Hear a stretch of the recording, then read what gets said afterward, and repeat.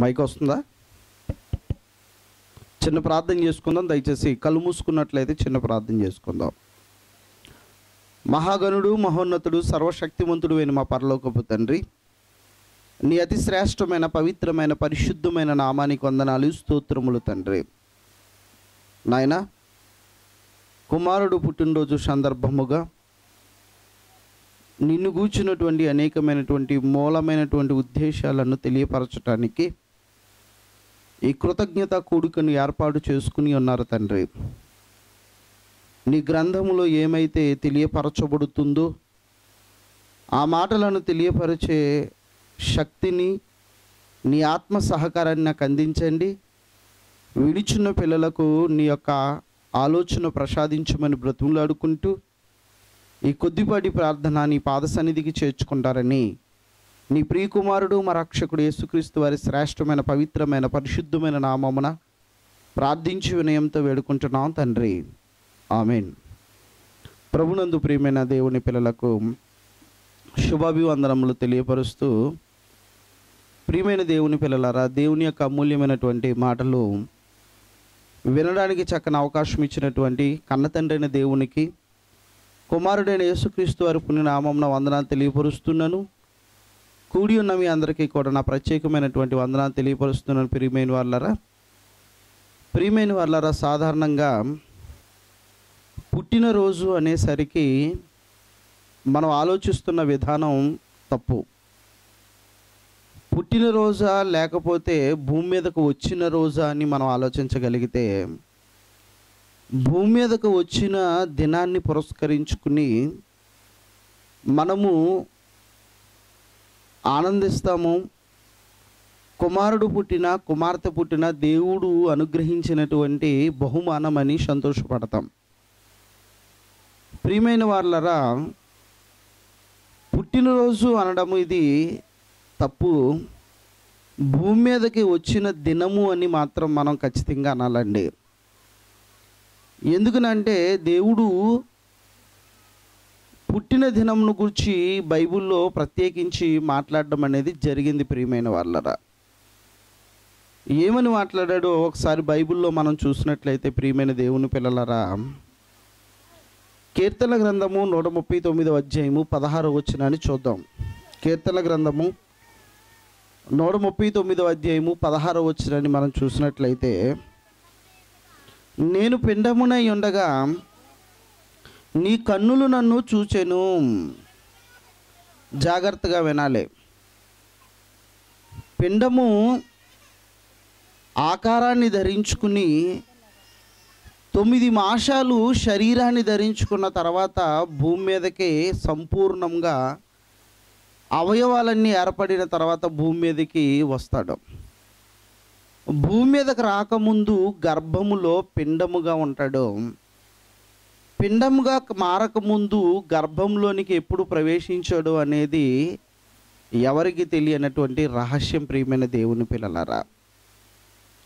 ఎందుకనంటే నా జన్మదినము రహస్యమని దావీదు గారు మాట్లాడినట్లుగా భూమి మీదకు వచ్చినటువంటి ప్రతి మనిషి యొక్క జన్మదినము అనేది రహస్యంగానే దేవుడు ఉంచాడు. ఎందుకు రహస్యంగా ఉంచాడు అంటే ఎప్పుడు తండ్రిలో నుంచి తల్లిలోకి ప్రవేశించాడు అన్న సంగతి ప్రపంచంలో ఎవరికీ తెలియదండి. ఆఖరికి మోస్తున్న తల్లికి కానీ ఆఖరికి తండ్రికి కానీ తెలియకుండానే తన యొక్క గర్భములో ఒక శిశువు బయలుదేరింది. తన గర్భములో ఒక ఆకారాన్ని తెచ్చుకోవడానికి ఒక కుమారుడు కానీ కుమార్తె కానీ బయలుదేరతారు ప్రియమైన దేవుని పిల్లలరా. ఏ సమయంలో బయలుదేరతారో తెలియదు అందుకనే బైబిల్లో చెప్పబడిన మాట ఏంటి అంటే గర్భఫలము దేవుడిచ్చు బహుమానము అన్నాడు.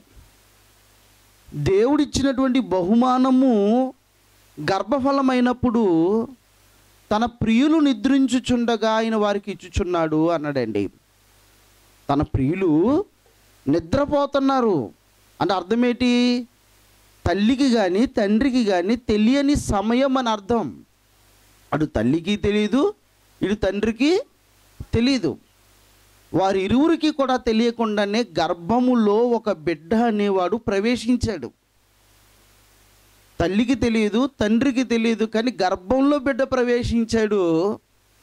తల్లిదండ్రులు కేకేసి ఏమా నీ బిడ్డ ఎప్పుడు గర్భంలోనికి ప్రవేశించాడు? శరీరాన్ని తెచ్చుకోవడానికని తల్లిని ప్రశ్నిస్తే తల్లి సమాధానం చెప్పలేదండి. పోనీ తండ్రిని ప్రశ్నిస్తే తండ్రి సమాధానం కూడా చెప్పలేడు ప్రియమైన దేవుని పిల్లల ఎందుకంటే జన్మదినం అనేది రహస్యము అన్నాడు బైబిల్లో. అయితే జన్మదినం అనేది రహస్యం అన్నారు కదా. మరి పుట్టినరోజు ఎందుకు చేస్తున్నారని మీరు చెప్పొచ్చు. అది జన్మదినం అని మనం ఎక్కలెక్కలు కడుతున్నాము అంటే భూమి మీదకి వచ్చిన దినాన్ని పుట్టినరోజు అనుకుంటున్నాం మనం. అర్థమవుతుందా మీకు? భూమి మీదకి వచ్చిన దినాన్ని పుట్టినరోజు అనుకుంటున్నాం తప్ప జన్మదినము అనేసరికి అది అనుకుంటున్నాం తప్ప అసలు జన్మదినం అనేది అది కాదు ప్రియమైన వాళ్ళరా. ఇదిగో తల్లి గర్భంలోనికి ప్రవేశించిన దినము నుంచి దేవుడు మాట్లాడుతున్న మాట ఏంటో తెలుసా? చూడండి అక్కడ ఏమంటున్నాడు? నూట ముప్పై తొమ్మిది పదిహారులో. నేను పిండమునై ఉండగా నీ కన్నులు నన్ను చూచెను. నియమింపబడిన దినములలో ఒకటైనను కాకమునుపే ఇగో దేవుడు ఇన్ని దినాలు భూమి మీద ఉండాలని దేవుడు భూమి మీదకి పంపించక ముందే ఇన్ని దినాలు అని దేవుడు ప్రత్యేకించి ఏర్పరిచి ఉన్నాడు ప్రియమైన దేవుని పిల్లలరా. నియమింపబడిన దినములలో ఒకటైనను కాకమునుపే అన్నాడు. అర్థమవుతుందా మీకు? మనకి ఆయుష్కాలం ఉంది. మన జనదినం రాస్తాడు మన మరణ దినము కూడా గర్భంలోనే రాసేస్తాడు ప్రియమైన దేవుని పిల్లలారా. నిజం. ఇదిగో మన జన్మదినం ఎప్పుడో రాస్తాడు మన మరణ దినం ఎప్పుడో కూడా దేవుడు గర్భంలోనే రాసేస్తాడు నిజమిది. ఏమండి? నియమింపబడిన దినములు అన్నాడు చూసారా? నియమింపబడిన దినములు అన్నాడు.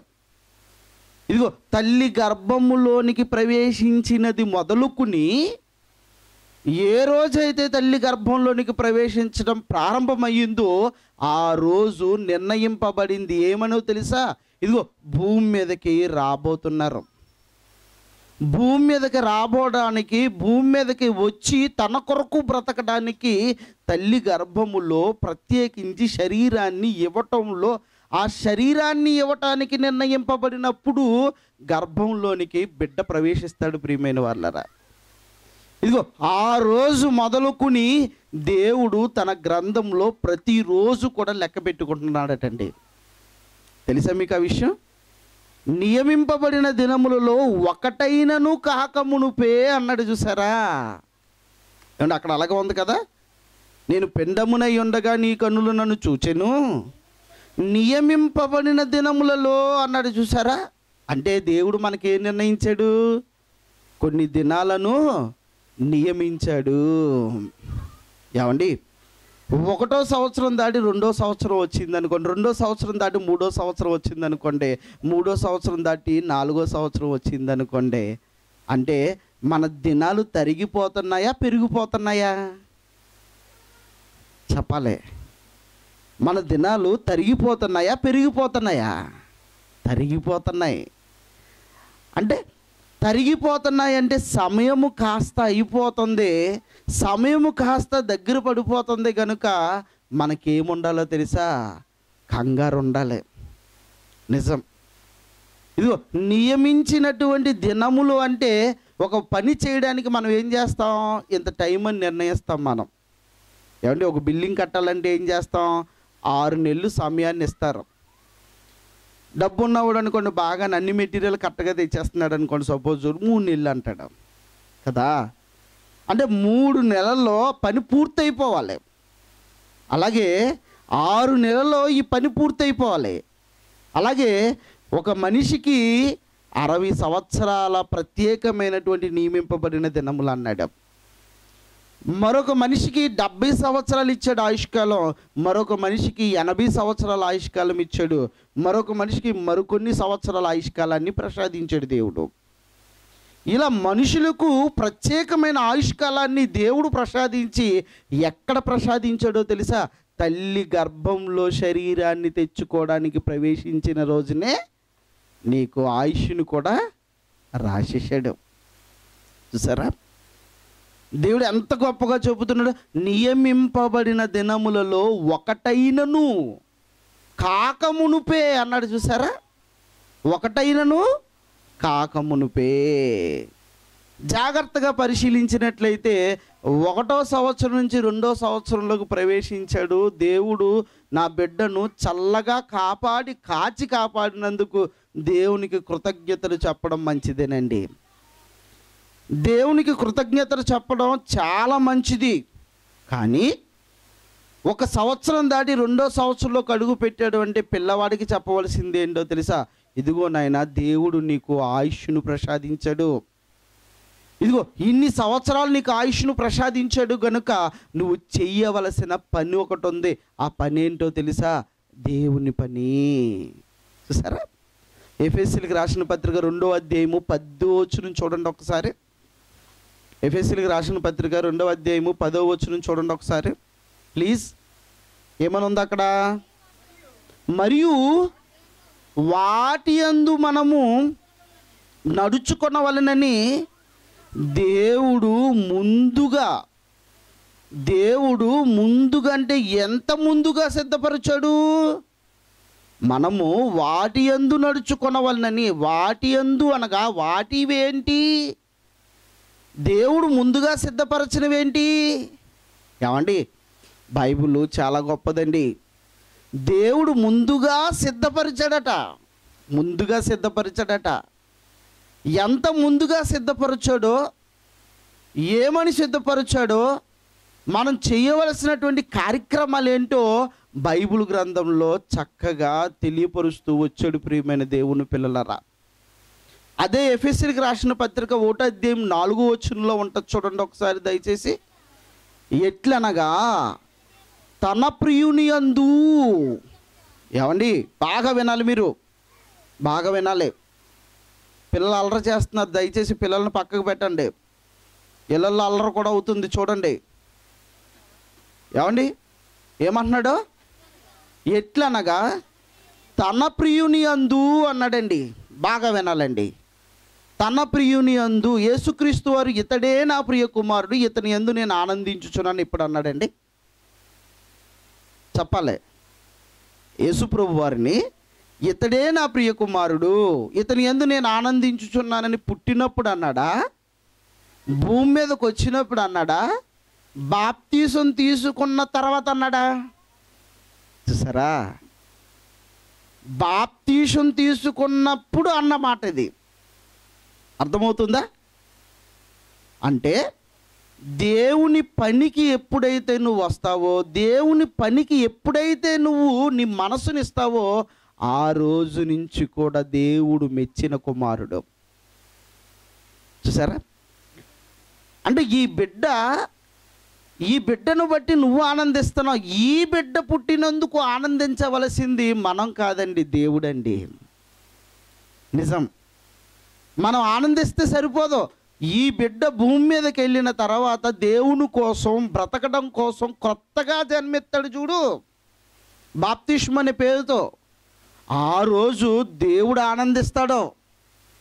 బాప్తీషం తీసుకున్నప్పుడు దేవుని పనికి నిర్ణయింపబడిన తర్వాత ఆ పనికి వెళ్ళి అనేక ఆత్మలను రక్షిస్తున్నప్పుడు దేవుడు ప్రత్యేకించి ఆ బిడ్డ నిమిత్తం ఆనందిస్తాడు.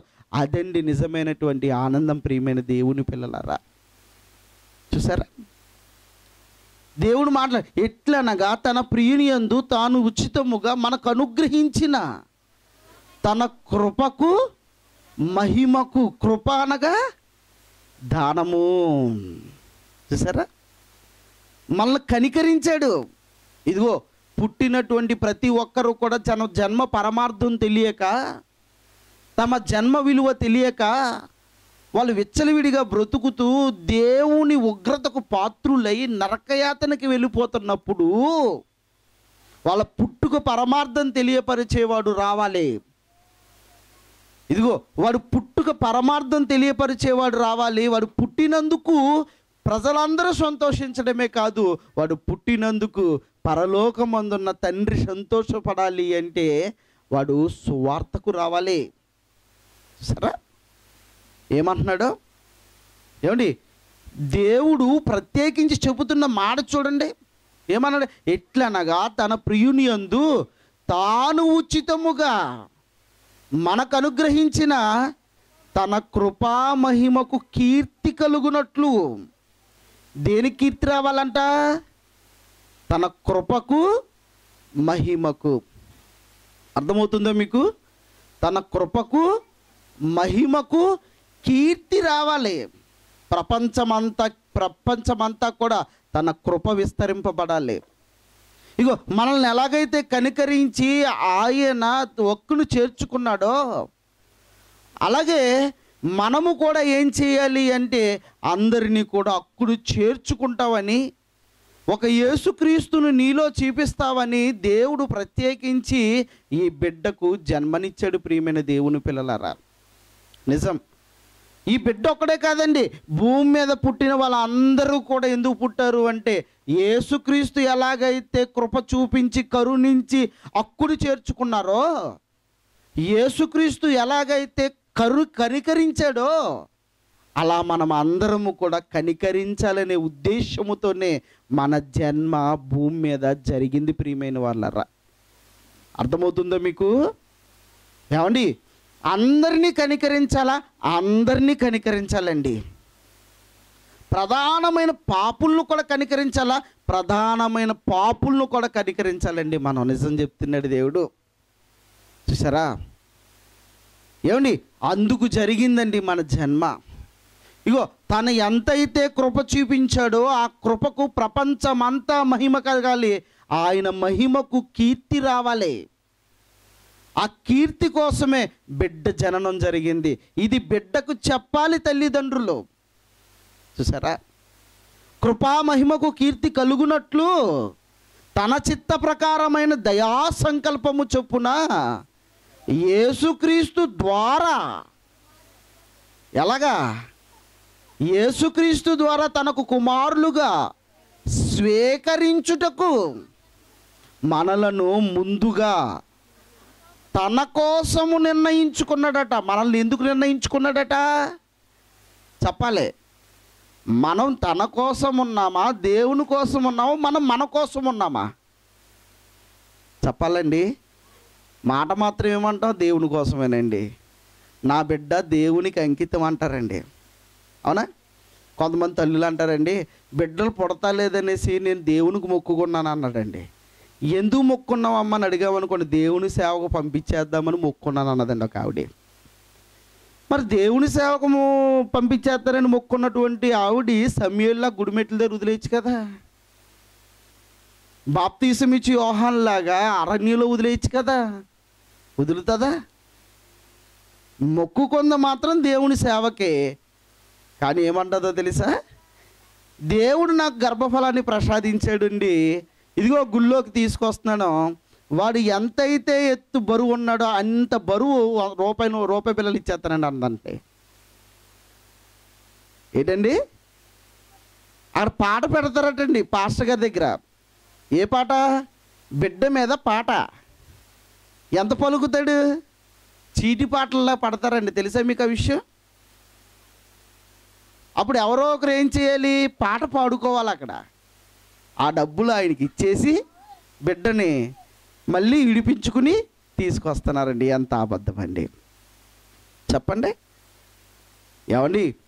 దేవుని కోసం పుట్టిన బిడ్డకి నువ్వు పాట పెట్టడమేటి భూమి మీదకి వచ్చిన ప్రతి మనిషి కూడా దేవుని కోసం పుడుతున్నప్పుడు దేవుని ఆలోచనల ప్రకారంగా పుడుతున్నప్పుడు ప్రతి మనిషిని కూడా భూమి మీదకి వెళ్ళి ఆయన కోసం బ్రతకాలని జగతికి పునాది వేయబడక మునిపే క్రీస్తు చేత దేవుళ్ళు ఏర్పరచుకున్నప్పుడు ఏర్పరు దేవుని ఆలోచనల కోసం పుట్టినప్పుడు ప్రియమైన వాళ్ళరా జగతికి పునాది వేయబడక మునుపే ప్రేమ చేత మనలను ఏర్పరచుకుని ఎవరి గర్భాన వేయాలో ఏ తల్లిదండ్రులకు అప్పగించాలో ఏ దేశంలో పుట్టించాలో ఎప్పుడు పుట్టించాలో నిర్ణయించింది ఎవరో దేవుడు. ఆడపిల్ల పుట్టాలా మగపిల్లడు పుట్టాలా దేవుడు చిత్తం అంటారు కానీ ఏ తల్లిదండ్రులకు బిడ్డలను పుట్టించాలో ఎవరిని పుట్టించాలో నిర్ణయించేది దేవుడండి. చూసారా? ఇది ఈరోజు ఆ రోజుది కాదు. ఇదిగో శాఖర్ అనేటువంటి ఈ కుమారుడికి పలానా కుర్రోడు పుట్టాలనేసి నిర్ణయించింది ఎప్పుడో తెలుసా? జగతికి పునాది వెయ్యబడక మునిపే. ఇదిగో శాఖర్ను పుట్టించాలనేటువంటి ఆలోచన కూడా జగతికి పునాది వెయ్యబడక మునిపే. ఇదిగో ఇక్కడ ఉన్న వాళ్ళందరినీ పుట్టించడానికి ఆలోచన ఎప్పుడో తెలుసా? జగతికి పునాది వెయ్యబడక మునిపే. నువ్వు కావాలని నేను కావాలని సమాజంలో ఉన్న వాళ్ళందరూ కావాలని దేవుడు ప్రత్యేకించి నిర్ణయించుకున్నాడు. ఇదిగో నిర్ణయించుకున్న దేవుడు ఎవరి గర్భాన వేయాలో ఎవరికి పుట్టించాలో ఏ దంపతుల గర్భాన వేయాలో దేవుడేసి ప్రత్యేకించి తన మహిమను చాటుకుంటే ఇదిగో ఆయన కృపామహిమకు కీర్తి కలగాలని ప్రపంచమంతా కూడా ఆయన కీర్తిని ప్రచారం చేయడానికి నీ కొడుకు నీ కూతురు రావాలి. చూసారా? అలా వస్తారండి? అలా రప్పిస్తారా? ఏమండి? అలా రావటం కోసం దేవుడు ఏం చేశాడో తెలుసా? ప్రతి మనిషికి ఆయుష్కాలాన్ని ప్రసాదించాడండి. ఏమండి? దేవుడు ఆయుష్కాలాన్ని ప్రసాదిస్తే యేసుక్రీస్తు వారు ఆయుష్కాలం ఎంత తెలుసా మీకు? యేసుక్రీస్తు వారు భూమి మీదకి సంపూర్ణమైన శరీరాన్ని తెచ్చుకుని భూమి మీదకి వచ్చినటువంటి ఆయుష్కాలం ఎంతో తెలుసా మీకు? ఎన్ని సంవత్సరాలండి? చెప్పగలరా? ముప్పై మూడున్నర సంవత్సరాలు. అంటే యేసుక్రీస్తు వారికి ముప్పై మూడున్నర సంవత్సరాల ఆయుష్కాలాన్ని ప్రసాదించేయడం. కదా? ఈ ముప్పై మూడున్నర ఆయుష్కాల సంవత్సరాలు తర్వాత యేసుప్రభు నోట ఒక మాట అంటున్నాడండి. ఏంటో తెలుసా? చూడండి ఒకసారి యోహాను సువార్త పదిహేడవ అధ్యాయము. యోహాన్ గారు రాసిన సువార్త పదిహేడవ అధ్యాయము. తీశారా? నాలుగో వచనం. యేసు ప్రభు వారు ఎలాగైతే మాట అంటున్నాడో తనకిచ్చినటువంటి ఆయుష్కాలంలో దేవుని పని సంపూర్ణంగా నెరవేర్చి దేవునితో మాట్లాడుతున్నట్టుగా ఈరోజు ఆయుష్ను ముగించుకుంటున్న ప్రతి మనిషి కూడా ఈ మాట అంటాడు. చెప్పండి ప్రియమైన వాళ్ళరా ఏమన్నాడు చూడండి చేయుటకు నీవు నాకు ఇచ్చిన పని దేవుడు ఒక పని ఇచ్చాడట అర్థమవుతుందా మీకు? దేవుడు ఒక పని ఇచ్చాడు ఏ పని తన కృపా మహిమకు కీర్తి కలుగునట్లు అన్నాడు కదా? ఏమండి? చేయుటకు నీవు నాకు ఇచ్చిన పని. చూడండి ఏమంటున్నాడు? నేను భూమి మీద సంపూర్ణముగా ఎలా చేశాడట? భూమి మీద సంపూర్ణంగా చేశాడంటే యేసుక్రీస్తు వారు. మళ్ళీ అసంపూర్ణంగా కాదు సగం చేసి సగం వదలలేదు. భూమి మీద సంపూర్ణంగా చేశాడట. మీకు విషయం తెలుసా? మంగళ షాప్కి గడ్డం గీయించుకోవడానికి వెళ్తామండి. సగం గడ్డం గీసేసి అయిపోయింది వెళ్ళిపోమన్నాడు అనుకో నీకు ఎలాగుంటుంది వస్తావు బయటికి? ఈ సగం వరకే గీసిన తర్వాత అయిపోయింది నాయన పని అయిపోయింది వెళ్ళిపోండి అన్నావు అనుకో సపోజ్ అద్దంలో చూసుకుని ఏమంటావు? ఇదిగో సంపూర్ణముగా అంటే ఏంటంటే పని ముగిసిపోయేంత వరకు ఏసుక్రీస్తు అలిసిపోలేదు. ఏసుక్రీస్తు విశ్రాంతి తీసుకోలేదు. నిజం. ప్రభు మాట్లాడుతున్న మాట చేయుటకు నీవు నాకిచ్చిన పని నాకిచ్చిన ఆయుష్కాలములో కరెక్ట్ టయానికి ముగించేశాను టైం టు టైం పని చేశాను నేను గవర్నమెంట్ ఉద్యోగస్తుల్లో పని చేయలేదు నేను నేను టైం టు టైం పని చేశాను. ఏ టైంలో ఏ పని చేయాలో ఏ టైంలో ఎలా అక్కడికి వెళ్ళాలో ఏ టైంలో దేవుడు ఎక్కడికి నడిపిస్తాడో అవన్నీ పర్ఫెక్ట్ కరెక్ట్గా నాకు స్క్రిప్ట్ రాసి ఇచ్చేశారు ఆ టైంలో నేను వెళ్ళి సువార్తను ప్రకటించాను. ఇగో ఏ టైంలో ఎక్కడుండాలో దేవుని నిర్ణయం అది. ఆ నిర్ణయ ప్రకారముగా దేవుడు ఇచ్చినటువంటి పనిని సంపూర్ణంగా నెరవేర్చి భూమి మీద నేను మహింపరిచానని ఒక యేసు ప్రభు చెప్పినట్లుగా ప్రపంచంలో ఏ మనిషి చెప్పలేడు. చూసారా? చేయుటకు నీవు నాకు ఇచ్చిన పని భూమి మీద? సంపూర్ణముగా నెరవేర్చి నిన్ను మహిమ పరిచితిని ఏమండి మన గర్భవాసం నుండి వచ్చినటువంటి మన బిడ్డతో ఈ మాట అనిపించగలమా? చెప్పండి. పోనీ మన బిడ్డ ఏమని అంటాడా? యేసుప్రభు పన్నెండేటకు వచ్చాడండి. పన్నెండేటకు వచ్చిన తర్వాత అమ్మ నాన్న ఏం చేశారో తెలుసా? నాయన నువ్వు తప్పిపోయావు మీ తండ్రి నీ కొరకు చింతించుచున్నాడు అంటే యేసుప్రభు అన్న మాట ఏంటో తెలుసా? నేను నా తండ్రి పనుల మీద పరలోకపు తండ్రి పనుల మీద ఉండాలని మీరు ఎరగరా? ఎవరు చెప్పారు? చెప్పండి. నేను పరలోకపు తండ్రి పనుల మీద ఉండాలని మీరు ఎరగరా అని పన్నెండో ఏట చిన్న పిల్లోడు నోట వచ్చింది అంటే ఈ మాట ఎంత అద్భుతం అండి ఏంటి మన పిల్లల మాట అంటారా చెప్పండి. పన్నెండో ఏట రావసరం లేదండి. మూడేళ్ళు వచ్చినాయి అంటే చాలండి. తండ్రి తీసుకున్న సెల్ ఫోన్ తీసేసుకుంటాడు. అర్థమవుతుందా?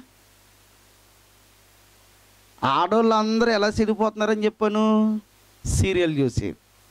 మగోళ్ళు జబర్దస్త్ చూసి. కాదంటారా?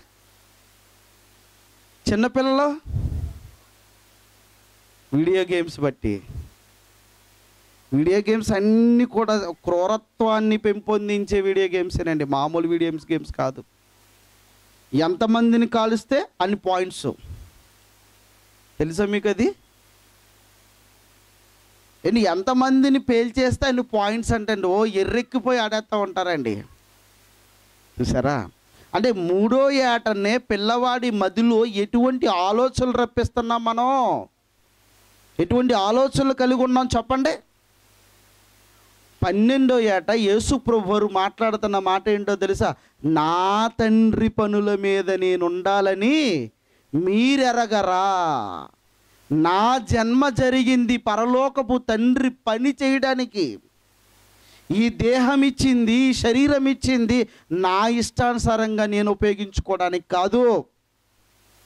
ఇదిగో ఈ చేతులు కావచ్చు ఈ నోరు కావచ్చు టోటల్గా ఈ శరీరం అంతా కావచ్చు నా ఇష్టం వచ్చినట్లు నేను ఉపయోగించుకోవడానికి కాదు. యేసు ప్రభు వారు మాట్లాడుతున్న మాట మన బిడ్డ నోట రావాలి. చూడండి హెబ్రిల్కి రాసిన పత్రిక. హెబ్రిల్కి రాసిన పత్రిక పదో అధ్యాయం ఐదో వచ్చిన చూడండి అద్భుతమైనటువంటి మాట. నాకు ఇష్టమైన మాట అది. హెబ్రిల్కి రాసిన పత్రిక పదో అధ్యాయం ఐదో వచ్చినాం కాబట్టి ఆయన ఈ లోకమందు ప్రవేశించినప్పుడు అదే చెప్పను ముందు. జన్మదినమా? లోకములోనికి ప్రవేశించిన దినమా? ఏమండి? జన్మదినము కాదు. జన్మదినం అంటే తల్లి గర్భంలో తొమ్మిది మాసాలు ఉన్నాం మరి ఆ దినాలు లెక్కేరే? తల్లిలోకి రాకముందు తండ్రిలో ఉన్నాం. మరి ఆ దినం లెక్కేరే? తండ్రిలోనికి రాకముందు వాళ్ళ తండ్రిలో ఉన్నాం. మరి ఆ దినం వాళ్ళ తండ్రిలోనికి రాకముందు మనమందరం ఆదాము గర్భంలో ఉన్నాం. మరి ఆ దినము? ఆదాములోనికి రాకముందు దేవునిలో ఉన్నాం. అర్థమవుతుందా? ఇలా వెనక్కి వెళ్ళిపోతే దేవునికి జన్మదినం ఉంటే మనకి కూడా జన్మదినం ఉన్నట్టే అర్థమవుతుంది కదా మీకు సందర్భం? ఏమండి? ఆయన భూమి మీదకి ప్రవేశించినప్పుడు ఎలాగో చెప్పుచున్నాడు? ఎలా చెప్పుతున్నాడు? ఎలా చెప్పుతున్నాడు? ఇలాగు చెప్పుచున్నాడు? ఇలాగు చెప్పుచున్నాడు అన్నాడు. యేసుప్రభట భూమి మీదకి ప్రవేశించే దినమునంట ఏదో చెబుతున్నాడంట. ఆ చెప్పేది మన బిడ్డల నోటంట వస్తుందా మన నోటంట వస్తుందా చెప్పాలండి.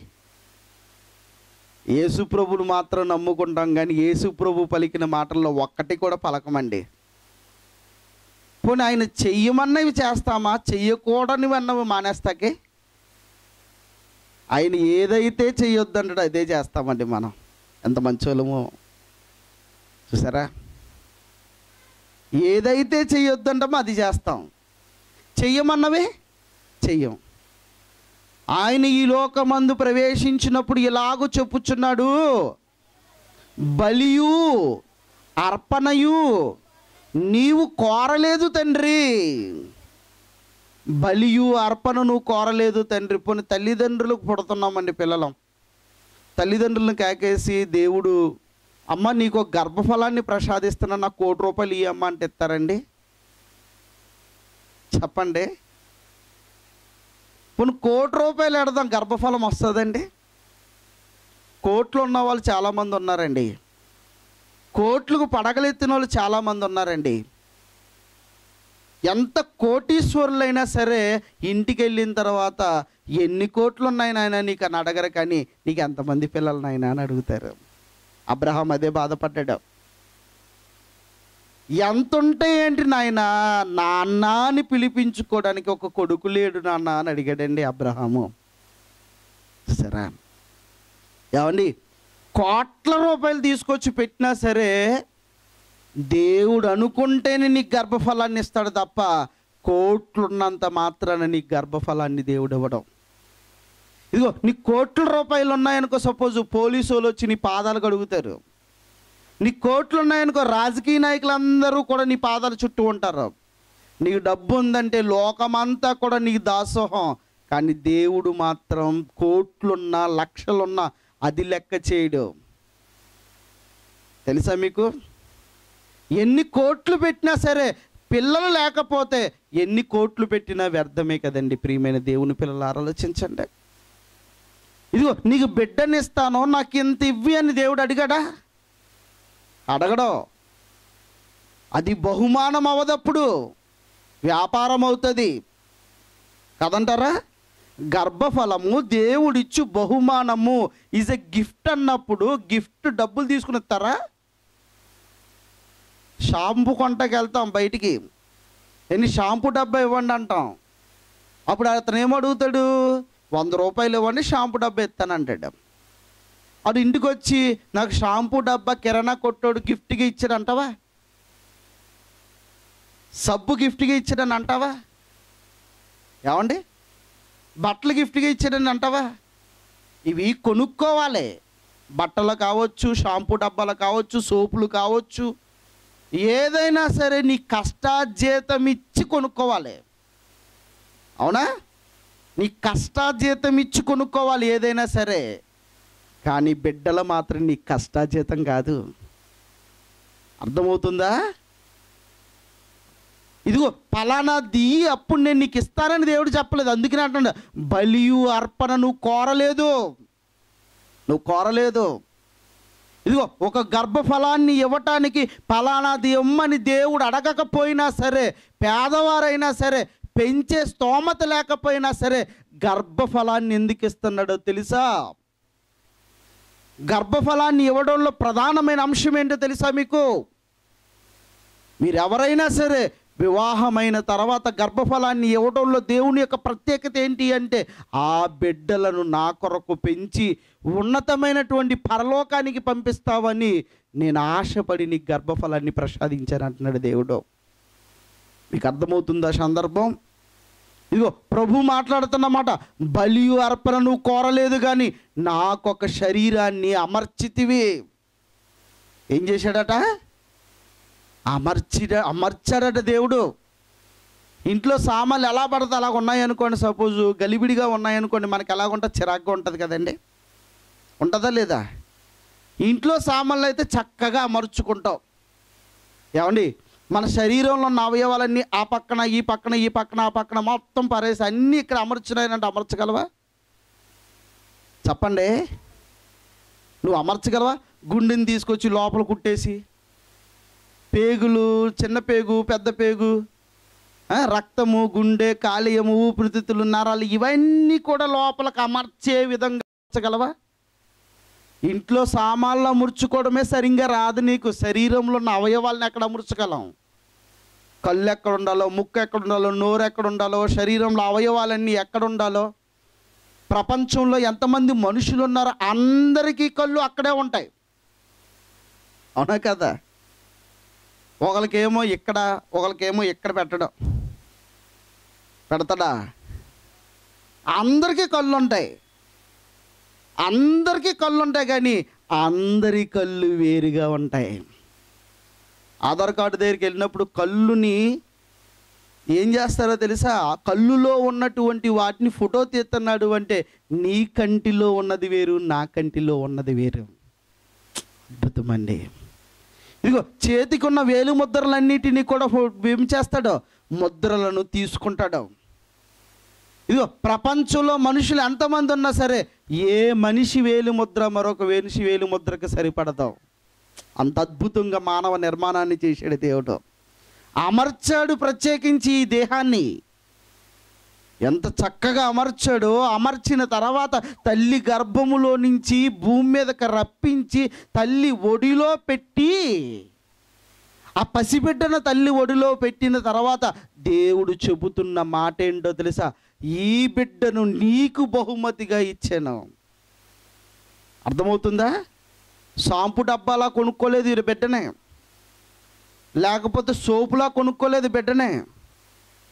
లేకపోతే బజార్లో ఉన్నటువంటి బట్టలు కొనుక్కున్నట్టు కొనుక్కోలేదు. అలా కొనుక్కున్నాం మనం. చెప్పండి. అలా కొనుక్కోలేదు.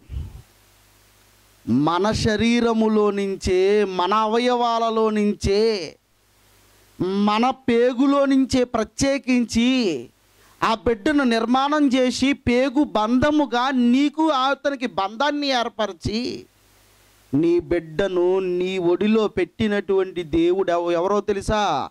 ఆ పరమాత్ముడు ఈ ఒడిలో ఎందుకు పెట్టాడో తెలుసా? ఏ రోజైనా ఆలోచించండి. యేసుప్రభు మాట్లాడుతున్న మాట ఎంత అద్భుతమో చూడండి. బలియు అర్పణ నువ్వు కోరలేదు కానీ నాకు ఒక శరీరాన్ని అమర్చితివి. నాకు ఒక శరీరాన్ని అమర్చితివి. ఈ మాట ఎందుకు మాట్లాడుతున్నానో తెలుసండి. తల్లిదండ్రులు బిడ్డలను కన్న తర్వాత తల్లిదండ్రులు నిలదెత్తారండి ఒకరోజు. వాళ్ళ పెద్ద పెద్దోళ్ళు అయిపోయిన తర్వాత ఏమంటాడో తెలుసా? తల్లిదండ్రులను నువ్వు నాకే సంపాదించో పెట్టి చెప్పు అంటాడండి. ఒకవేళ కానీ ఆస్తి పత్రాల మీద కానీ సంతకాలు పెట్టకపోతే తల్లిని తీసుకెళ్ళిపోయి తండ్రిని తీసుకెళ్ళిపోయి శ్మశానం దగ్గర ఉండమనేటువంటి కొడుకులున్న లోకం ఇది. కాదంటారా? ఆధారాలు బోల్డ్ ఉన్నాయండి. ఒక తండ్రి వృద్ధాప్యలోకి వచ్చేసాడంట కోడలకి ఇష్టం లేదంట ఆస్తి అయితే రాయించేసుకున్నాడంట. కోడలకి ఇష్టం లేదని తండ్రిని తీసుకెళ్ళిపోయి ఎక్కడ పెట్టాడో తెలుసా? శ్మశానంలో పెట్టేశాడు. ఇదిగో చచ్చిపోయావంటే చచ్చిపోయిన తర్వాత నేను సమాధి చేయడానికి బో డబ్బులు ఖర్చు అవుతాయి మళ్ళీ ఇక్కడి నుంచి అక్కడికి తీసుకెళ్ళి సమాధి చేయించడం ఎందుకు? ఇంకా గంట రెండు గంటలు చచ్చిపోయేటట్టుగా ఉన్నావు కదని శ్మశానంలో పెట్టేస్తే మానవత్వం మేలుకొని వీడు మనిషా పశువు అని అడిగారు. చూసారా? చివరి దశకు వచ్చిన తర్వాత తల్లిదండ్రులు నిలదీసే దుర్మార్గులు ఉన్నారు. ఏమనో తెలుసా? నువ్వు నాకేమిచ్చావు? నువ్వు నాకేమిచ్చావు? ఏ రెండు అంతస్తులు బిల్డింగ్ ఇచ్చావా? వాడు చూడు కోట్ల రూపాయల ఆస్తి ఇచ్చాడు వాళ్ళ బాబు. నువ్వేమిచ్చావు అని తల్లిదండ్రులను కొట్టే వాళ్ళు ఉన్నారండి. తండ్రిని తల్లిని చితక్కొట్టే దుర్మార్గులు ఉన్నారండి. నిజమండి? జన్మనిచ్చిన తల్లిదండ్రులను కొట్టినప్పుడు ఆ జన్మనిచ్చిన తల్లిదండ్రులు ఇద్దరిని ఏమంటారో తెలుసా? ఏం మాట్లాడతారో తెలుసా? నువ్వు నాకేమిచ్చావు అని అడుగుతాడు. యేసు ప్రభు మాట అంటలేదు. మీ తండ్రి పేదవాడు కనుక ఏమిచ్చావని అడుగుతున్నాడు. యేసుక్రీస్తు తండ్రి ఎవరో తెలుసా? లోకాలను కలిగించిన మహానుభావుడు. భూమి మొత్తం ఆయిందే. యేసుప్రభు అలాగే ఎప్పుడైనా నిలదీశాడండి? చెప్పండి. ఆయన ఏమంటున్నాడో తెలుసా? బలియు అర్పణ నువ్వు కోరలేదు కానీ నాకు ఒక శరీరాన్ని అమర్చితివి చాలది. నాకు శరీరం ఉంది చాలు. నాకు శరీరం లేకపోతే దేవుని పని చేయలేను. శరీరం ఉంది చాలు. ఈ శరీరముతో దేవుని పని చేస్తాను. ఏంటి మనకేం అవసరం లేదండి? ఆస్తులు అవసరం లేదు అంతస్తులు అవసరం లేదు ఏం అవసరం లేదు. శరీర అవయవాలన్నీ కరెక్ట్గా ఉన్నప్పుడు ఈ నాలుగుతో దేవుని మాటలు చెప్పడానికి పోయే కాలమేటి? ఇగో ఈ నోడుతో దేవుని స్థుతించడానికి పోయే కాలమేటండి? ఈ నోరిచ్చింది దేవుని కోసమైతే ఈ అవయవాలు నిర్మాణం చేసింది దేవుని కోసమైతే మరి ఈ అవయవాలు ఎవరికి ఉపయోగిస్తున్నావు? చెబుతున్నాడు పరమాత్ముడు ఏమని? బలియు అర్పణ నువ్వు కోరలేదు కానీ నాకొక శరీరాన్ని అమర్చితివి. చాలది. చాలు. నీకు కావలసిందేడో తెలుసా? ఈ దేహమే నీకు కావాలి. ఏ దేహమైతే నువ్వు ఇచ్చావో ఆ దేహమే నీకు కావాలి కనుక ఆ దేహాన్ని యేసు ప్రభు దేవునికి సమర్పించాడు ప్రియమైన వాళ్ళరా. నిజం. నీ బిడ్డ కూడా దేవునికి సమర్పిస్తేనే నీ బిడ్డకు నీకు కూడా పరదేశులు అవకాశం ఉంటుంది ప్రియమైన వాళ్ళరా నిజం. ఏమన్నాడు? బలి అర్పణ నువ్వు కోరలేదు కానీ నాకు ఒక శరీరాన్ని అమర్చితివి పూర్ణ హోమములు పాప పరిహారార్థ బలులు నీకిష్టమైనవి కాదు. నీ నీకు ఇష్టమైనవి కాదు. ఏమంటున్నాడు అక్కడ? అప్పుడు నీ గ్రంథములో అప్పుడు నీ గ్రంథములో నన్ను గూర్చి రాసావు. యేసుప్రభు ఒక్కరి కోసమే రాశాడా గ్రంథంలో? చెప్పాలండి. యేసుప్రభు ఒక్కరి కోసమే రాశాడా? అందుకనే కీర్తన గ్రంథము నూట ముప్పై తొమ్మిదవ అధ్యాయము పదహార వచనంలో మాట్లాడుతున్నాడు. నియమింపబడిన దినములలో ఒకటైనను కాకమునుపే నీ గ్రంథములో నా దినములన్నీ లిఖితములాయను. నీ గ్రంథంలో రాసుకున్నావు ప్రభా. నీ గ్రంథంలో రాసుకున్నావు. నా కుమారుడు ఈ సమయములో సువార్త పనిలో ఉండాలని నీ గ్రంథంలో రాసుకున్నావు. సువార్త పనిలో ఉండడం మానేసి మ్యాట్నికి చెక్కేశాడు ప్రభా. సువార్త పనిలో ఉండడం మానేసి టీవీ సీరియల్ దగ్గర కూర్చుంది ప్రభా. సువార్త పనిలో మానేసి సినిమా బాక్ బస్టర్ అనేసి సినిమా దగ్గర కూర్చుంది ప్రభా. ఆయనేమో సువార్త అని రాసుకుంటే నువ్వు మాత్రం సినిమాకి వెళ్తావా? బాగుందండి. చెప్పండి. ఆయన రాసిన స్క్రిప్ట్ వేరు. నువ్వు ప్రవర్తిస్తున్న ప్రవర్తన వేరు. చూడండి ఒక డైరెక్టర్ గారు చెప్పినట్లుగా స్క్రిప్ట్లో యాక్ట్ చేయకపోతే డైరెక్టర్ సినిమాలో నుంచి నిర్దాక్షిణ్యంగా తీసేస్తాడు. ఇది ఎంత వాస్తవమో. ఆయన రాసుకున్న స్క్రిప్ట్ ప్రకారంగా కానీ నీ జీవితం లేకపోతే నిర్దాక్షిణ్యంగా నిన్ను ఈ లోకం నుండి తీసేస్తున్నాడంటే దానికి కారణం ఏంటో తెలుసా? ఇదిగో ఎవరికి తెలియని సమయములో ఎవరు కూడా తెలియనిటువంటి సమయంలో నువ్వు అర్ధాక్షిణ్యంగా వెళ్ళిపోతున్నావు అంటే దానికి కారణం ఏంటో తెలుసా? ఆయన రాసిన స్క్రిప్ట్ ప్రకారం నీ బ్రతుకు లేదు. చూసారా? యేసుప్రభు మాట్లాడుతున్న మాట అప్పుడు నీ గ్రంథపు చుట్టలో నన్ను గూర్చి వ్రాయబడిన ప్రకారం నన్ను గూర్చి ఏమని రాసావు నీ చిత్తము నెరవేర్చుటకు. ఇదిగో మనం దేనికోసం వచ్చాం? ఆయన చిత్తాన్ని నెరవేర్చుటకు భూమి మీదకి మనం వచ్చాం. ఆయన చిత్తాన్నే నెరవేర్చడానికి యేసుక్రీస్తు వారు భూమి మీదకి వచ్చారు. ఆయన పని ఆయన ముగించుకుని వెళ్ళిపోయాడు. వెళ్ళిపోతూ వెళ్ళిపోతూ ఏమన్నాడో తెలుసా? చేయుటకు నువ్వు నాకు ఇచ్చిన పనిని భూమి మీద సంపూర్ణంగా నెరవేర్చి నిన్ను మహిమ పరిచితిని నిన్ను మహిమ పరిచితిని అండి మనము కూడా ఏమని వెళ్ళాలో తెలుసా? చెయ్యుటకు నాకు భూమి మీద పనిచ్చావు. ఇదిగో ఒకటో సంవత్సరం దాటింది అంటే నేను పని ము- పనికి ముందుకెళ్తా ఉండాలి. అర్థమవుతుందా? పని పెరుగుతుంది. ఒకటో సంవత్సరం దాటింది రెండో సంవత్సరం దాటింది మూడో సంవత్సరం దాటింది నాలుగో సంవత్సరం దాటింది ఐదో సంవత్సరం దాటింది ఆరో సంవత్సరం దాటింది ఏడో సంవత్సరం దాటింది అనేసరికి ఏడు సంవత్సరాల ఆయుష్కాలంలో దేవుడిచ్చిన పనిని చేస్తావా? చేసేసావా? అడుగుతాడు. చూసారా?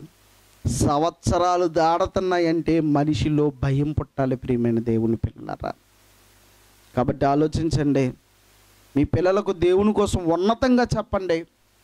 ఒకవేళ ఇన్ని సంవత్సరాలు వృధాపరిచినట్లయితే ఎప్పటికైనా మీ పిల్లల కోసం ప్రత్యేకించి చెప్పడానికి ప్రయత్నం చేయండి. అలా చెప్పకపోతే దేవుడు ఒక రోజు నిలదీసే రోజు వస్తుంది.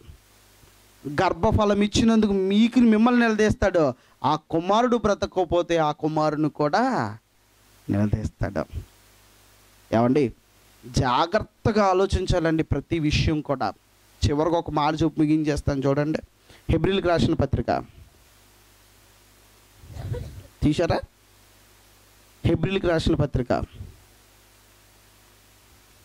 పదమూడవ అధ్యాయము పదహారు వచ్చిన చూద్దామండి. పదమూడవ అధ్యాయము పదహారు వచనం. ఉపకార ధర్మమును చెయ్య మరచిపోకడి అట్టి యాగములు దేవునికి ఇష్టమైనవి మీ పైన నాయకులుగా. ఇదిగో భూమి మీదకి వచ్చిన తర్వాత దేవుని పని చెయ్యాలని బోధిస్తూ దేవుని పనికి పురమాయిస్తూ ఇదిగో దేవుని పని చేయకపోతే దేవుని పని కోసమే నువ్వు నిర్ణయింపబడ్డావని చెప్పి ఆ బోధ చేసిన తర్వాత వాళ్ళ మార్పు చెందిన తర్వాత సువార్తకు తీసుకెళ్తున్నప్పుడు మీ పైన ఒక నాయకుడిని పెట్టాడు. అర్థమవుతుందా? ఒక సేవకున్నో ఒక నాయకున్నో పెట్టాడు దేవుడు. ఇప్పుడు ఈ నాయకుడు చెబుతున్నాడు కానీ జనాలు మాత్రం వింటలేదు. ఇగో మీ పైన నాయకుడుగా ఉన్నవారు లెక్క ఒప్పచప్పవలెను చెప్పవలెను. లెక్క అప్పచెప్పవలి వాళ్ళే. మీ ఆత్మలను కాయుచున్నారు. అర్థమవుతుందా? లెక్క అప్పచెప్పాలట. మీకు అర్థం కావాలి. ఇదిగో దేవుని పనికి అందరూ పుట్టారు. అందరిలో కొందరు మాత్రమే బాప్తిషన్ తీసుకున్నారు. ఆ కొందరిలో ఎంతమంది దేవుని పనికి వస్తున్నారో నువ్వు లెక్క చెప్పు. అడుగుతున్నాడా? ఎంతమంది దేవుని పనిలోనికి వచ్చారు? ఇంకా దేవుని పని కొరకు తెలుసుకోవలసిన వారు ఎందరు? లెక్క చెప్పు నాయన అంటే నాయన ఎన్నో సంవత్సరాల నుంచి చెబుతున్నాను నాయన దేవుని పనిలోకి మాత్రం రాలేదు. దేవుని పని కోసం తెలుసుకోవడానికే వస్తున్నారంటే పని కోసం ఎన్నాళ్ళు తెలుసుకుంటారు చెప్పండి. ఏమంటే ఆలోచించండి. ఇదిగో హాస్పిటల్లో పనికని వెళ్తాం. పనికి వెళ్ళిన తర్వాత ఏం చేస్తా అంటే ఒక నెల రోజులు ట్రైనింగ్ ఇస్తారు. ఏ ఇంజెక్షన్ ఇవ్వాలో ఏ ఇంజెక్షన్ ఎలాగివ్వాలో ఎక్కడ ఇవ్వాలో దేహానికి ఏ ప్రాంతంలో ఇవ్వాలో అనేది ట్రైనింగ్ అంటారు దాన్ని. అంటే తెలియదు కనుక ట్రైనింగ్ ఇస్తారు. ఏమండి? ఒక నెల ట్రైనింగ్ ఇస్తే బాగుంటుందా? సంవత్సరం అంతా ట్రైనింగ్ ఇస్తే బాగుంటుందా? జీవితాంతం ట్రైనింగ్ ఇస్తేనే బాగుంటుందా? జీవితాంతం ట్రైనింగ్ ఎత్తేనే ఉన్నావు అనుకో పనికి ఎప్పుడు వస్తావు? చెప్పండి. అయ్యా పిల్లలు కొత్త వాళ్ళు అయ్యా కొత్త పిల్లలు వస్తున్నారయ్యా కొత్త పిల్లలు కనుక వాళ్ళకి ఏంటి తెలియదయ్యా అన్నప్పుడు అతను అన్నదే కరెక్ట్గా వారం రోజులు ట్రైనింగ్ ఇస్తాం. ఈ వారం రోజులు ట్రైనింగ్లో డబ్బులు ఏమి ఇవ్వం వారం రోజులు ట్రైనింగ్ అయిపోయిన తర్వాత పనిలోకి వచ్చేయాలి అలా. పనిలోకి వచ్చేయాలి. అర్థమవుతుందా? మీరు ఎన్ని సంవత్సరాలు ట్రైనింగ్లో ఉంటారు చెప్పండి? ఆదివారం వచ్చేసరికి ముచ్చటగా దేవాలయానికి రావడం శుభ్రంగా వినేడు విన్న తర్వాత భక్తులు అయిపోయామనుకోవడం ఇంటికి వచ్చిన తర్వాత ధైర్యాన్ని వహించటం మళ్ళీ ఆదివారం వచ్చిన తర్వాత మళ్ళా రావడం చూసారా? ఎన్ని సంవత్సరాల ట్రైనింగ్ చెప్పండి? ఎన్ని సంవత్సరాలు విని మర్చిపోతారో చెప్పండి? హాస్పిటల్కి వెళ్ళి మందులు చీటి రాయించుకుని మందులు కొనుక్కుని పైన ఇట్టేసుకుని జ్వరం తగ్గుతలేదు డాక్టర్ గారు అన్నారు అనుకోండి సపోజ్. అమ్మ మందులు కొనుక్కున్నా కొనుక్కున్నానండి. వెరీ గుడ్ మందులు వేసుకున్నావా? వేసుకోమని మీరు చెప్పలేదు కదండి. చూసారా? మందులు ఎందుకు కొనుక్కున్నా వేసుకోవడానికే కదా. చర్చికి ఎందుకు వస్తున్నావు? బోధ వింటున్నావంటే బోధకులుగా మారాలి. వాక్యం నేను ఒక్కనే చెప్పడం కాదు మీరందరూ చెప్పాలి అంటే దేవుని పనికి మిమ్మల్ని బయలుదేరింప చేయాలి అర్థమవుతుందా? ఏమండి? ఆదాము అవ్వ ఉన్నారో మొట్టమొదటి కుమారుడు కయ్యను పుట్టాడు. కయ్యను పుట్టిన తర్వాత వాళ్ళిద్దరూ ఏం చేయాలో తెలుసా? మొట్టమొదటి సంఘములో నుంచి కయ్యను అనేటువంటి ఒక వ్యక్తి సువార్తను ప్రకటించాలి. భార్య భర్తలుగా ఎందుకు కలుస్తున్నారంటే మీరిద్దరు ఒక సంఘానికి సూచన. భర్త అనేసరికి క్రీస్తుకు సూచన భార్య అంటే సంఘానికి సూచన. మీ గర్భవాసం నుండి వస్తున్నటువంటి పిల్లలను మీరు ఇరువురు కూడా క్రీస్తు వెంపు మళ్ళిస్తారని మీ గర్భఫలాలను ఇస్తే వారిని క్రీస్తు వైపు మళ్ళించకుండా మీ వైపు మళ్ళించుకుంటే దేవుడు బహుమానాన్ని అపవిత్రం చేస్తున్నారని బాధపడుతున్నాడు ప్రియమైన వాళ్ళరా. ఆలోచించండి. ఇదిగో మీ పైన నాయకులు నాయకులుగా ఉన్నవారు లెక్క ఒప్ప చెప్పవలసిన వారి వలె మీ ఆత్మలను కాయుచున్నారు. దేనికి కాస్తున్నారు మీ ఆత్మలను కాయుచున్నారు అన్నాడండి. మీ ఆత్మలను కాస్తున్నారు. మీ ఆత్మ అపవిత్రతకు వెళ్ళకుండా కల్మషానికి వెళ్ళకుండా హృదయములో కూడా వ్యభిచారము చేయకుండా ఒక స్త్రీని మోహపు చూపుతో చూచిన వెంటనే తన హృదయములో వ్యభిచారము చేసినట్లుగా యేసుప్రభు చెప్పినట్లుగా అటువంటి కల్మషం కూడా రాకుండా వాక్యాన్ని ఉన్నతంగా బోధించి వాక్యం అనే ఉదక స్నానము చేత పవిత్రపరచి మీ ఆత్మలను కాయుచున్నారు. అర్థమవుతుందా మీకు? తర్వాత ఏమంటున్నాడు?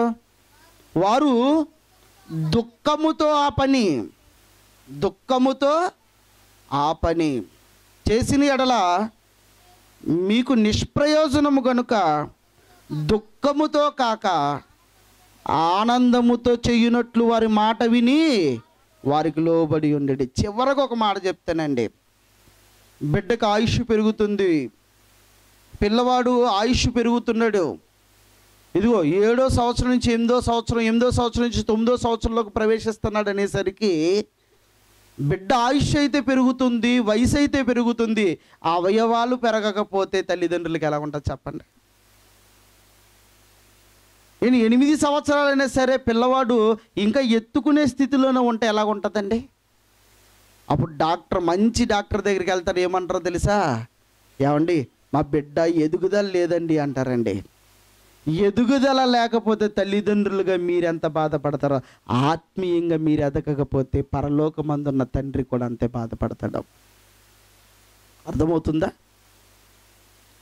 ఎదుగుదల లేకపోతే మీకు బాధ. మీలో ఆత్మీయంగా ఎదగకపోతే నాయకునికి బాధ. నాయకుడు ఎప్పుడు దుఃఖపడతాడో తెలుసా? నిజంగా మీలో ఎదుగుదల లేనప్పుడే దుఃఖపడతాడు. ఇంకా పిల్లలను మోసే స్థితిలోనే ఉండాలా? లేదండి. ప్రారంభించి ఇంచుమించు పది సంవత్సరాలు అవుతున్నా సరే ఇంకా బుజ్జగించి ఇంకా ముద్దలు పెట్టి ఇంకా బుజ్జగించి చిన్న చిన్న గోరు ముద్దలు తినిపించే స్థితిలో లేరు. ఎదిగారు.